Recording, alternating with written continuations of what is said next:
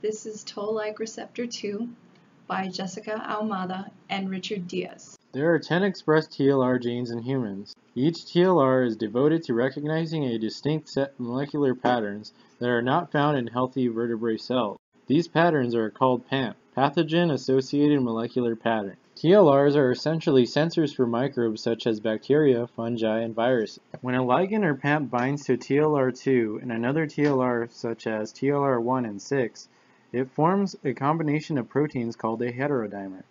When a combination of TLR1 and 2 or TLR1 and 6 bind, their cytoplasmic tails or TIR domains interact and signal other molecules that form several products. The ligands that bind to TLR2 to activate it consist of several different types of PAMPs found on the surface of different microorganisms, such as lipopeptides, zymosan, and lipoamines. Each PAMP is specific to different classes of microorganisms. There is a cascade of events that occur after TLR2 forms a heterodimer with TLR1 or TLR6, which pretty much means various proteins and other molecules inside the cell are binding to each other. This is like passing on a message within the cell that there is a foreign pathogen in the body.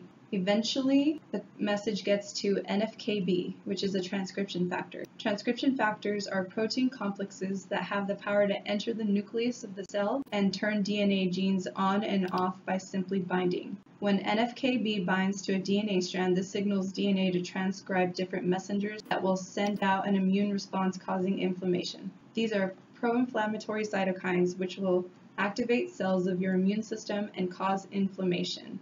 Another transcription factor is activator protein, or AP1, that also signals for cytokines to be made for an inflammatory response. A third transcription factor, called interferon regulatory factor, or INF, will turn on the gene for interferon to be produced.